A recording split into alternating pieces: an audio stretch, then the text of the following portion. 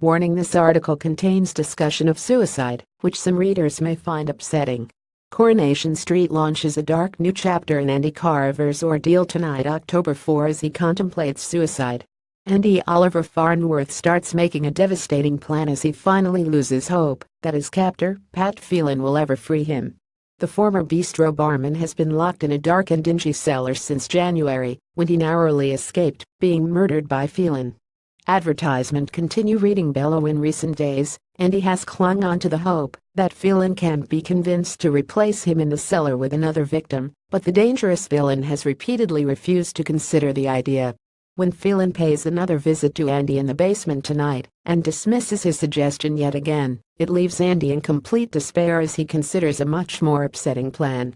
As Phelan gives Andy some tablets, he fails to notice anything is amiss as Andy secretly takes them out of his mouth and adds them to a hidden stash.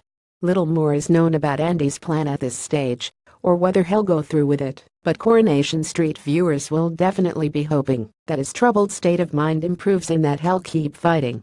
If spoilers for next week have already hinted at a possible change in Andy's fortunes, as Phelan calmly checks a handgun and puts the wheels in motion for his next plan.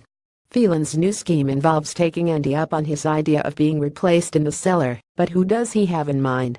Coronation Street airs tonight at 7.30 p.m. and 8.30 p.m. on ITV. Suicide is preventable. Readers who are affected by the issues raised in this story are encouraged to contact Samaritans on 116 123 www.samaritans.org or Mind on 0300 123 33 93 www.mind.org.uk.